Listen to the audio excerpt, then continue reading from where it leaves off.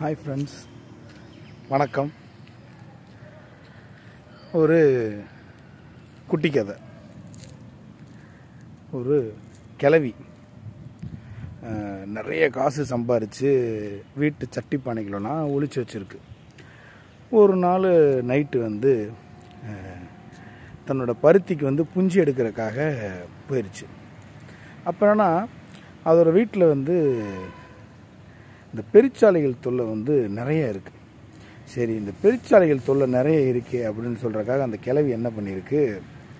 நல்ல திணையோடு வந்து அந்த கரு மருந்தை உருட்டி வச்சு நாலா பக்கமும் உருட்டி விட்டு போயிடுச்சு போனதுக்கப்புறம்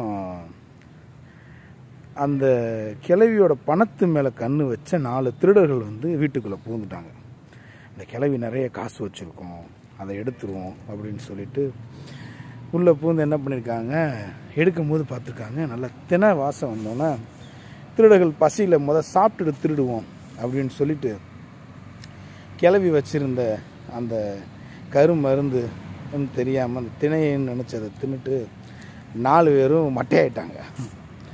பருத்திக்கு புஞ்சி எடுக்க போன பாட்டி திரு திரும்பி வந்து பார்த்தம்போது நாலு பேரும் செத்து கிடந்தோன்னே பாட்டிக்கு பயிர்னு ஆயிடுச்சு. ஐயோ நம்ம பெருச்சாலைக்கில் வச்சோம் பார்த்தா இந்த திருட்டு பயிலில் செத்துருக்காங்க. காலையில் பஞ்சாயத்தில் தெரிஞ்சால் கொலக்கேஸ் ஆயிருமே அப்படின்னு சொல்லிட்டு என்ன பண்ணலான்னு யோசிச்சுட்டு ஆஹா ஊரில் அந்த மொக்கச்சாமி இருப்பார் அவரை கூட்டிகிட்டு வருவோம்னு சொல்லிட்டு வெறு வெறுன்னு போய் ஒரே ஒருத்தனை மட்டும் வெளியே கொண்டு வந்து வாசலில் நாமத்தெல்லாம் தடவி நாடிக்கட்டிலாம் போட்டு இங்கே வாரியா என் வீட்டு ஆம்புலையால் செத்து போயிட்டாரு.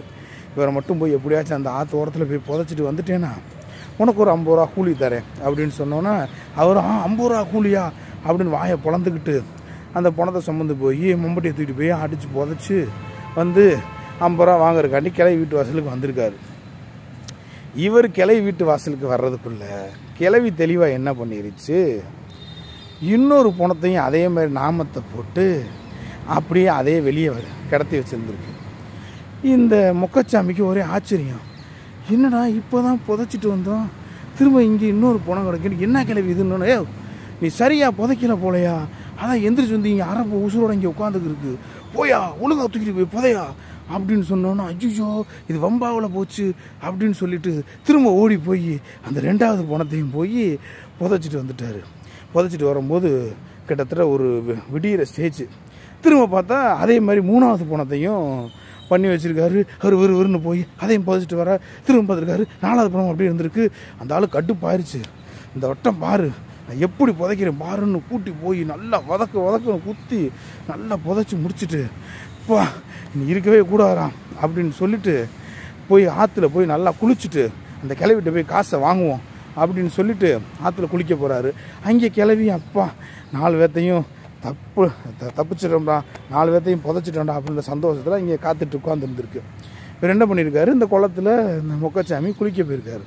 குளிக்க போகிறப்ப என்னென்னா இன்னொரு நாமம் போட்டு கையில் பையோட ஒரு ஆள் போயிருந்திருக்காப்புல இந்த மொக்கச்சாமிக்கு ஒரே கோபம் ஏண்டா நாலு தடவை உன்னை அடிச்சு உள்ளே புதைச்சும் நீ இன்னும் நாமத்தை போட்டு நீ பையோட தெரியுது ஊர் விட்டு ஊர் போ பார்க்குறியா உன்னையா?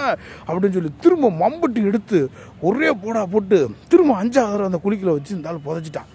புதைச்சிட்டு வந்துட்டு கிளவிட்டு விஷயத்த சொன்னேன். கிளவி உனக்கு ஒன்று தெரியுமா? அவன் அஞ்சாவது தடவை எந்திரிச்சு வந்தான். அவன் அடித்து புதைச்சிட்டேன்.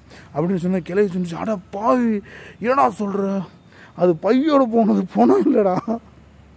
ஏட்டு பள்ளிக்கூடத்துக்கு பாடம் சொல்லி கொடுப்போட வாத்தியாரா அப்படின்னு சொன்னோன்னே அட கிளவி எனக்கு ஐம்பது ரூபாய் வேணாம் ஒன்று வேணான்னு சொல்லி ஆளை விடுன்னு சொல்லி ஓடியே போயிட்டான்.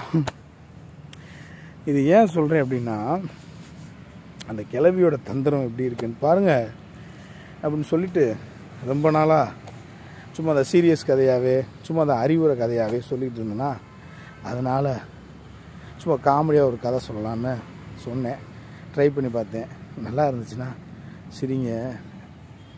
நல்லா இல்லைன்னா வழக்கம் போது லந்தா கொடுங்க. வரட்டா